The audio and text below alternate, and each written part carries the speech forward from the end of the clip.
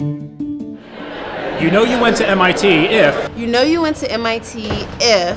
You know you went to MIT if. You know you went to MIT if everything else in life seems far easier than uh, being at MIT. It took a lot of hard work, but it, but it was well worth it. You know you went to MIT if your math is better than your spelling. If you measure distances in smoots.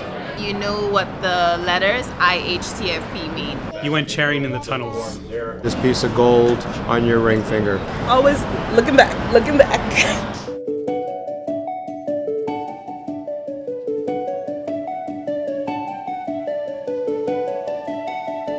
You know you went to MIT if IAP spells fun. When you walk across the Harvard Bridge a million times in the cold, cold winter. If you know what the numbers 501, 801, and 1801 mean, and you will never forget them. If you know what drinking out of a fire hose feels like. When the power goes out in your apartment, you shout, LSC sucks!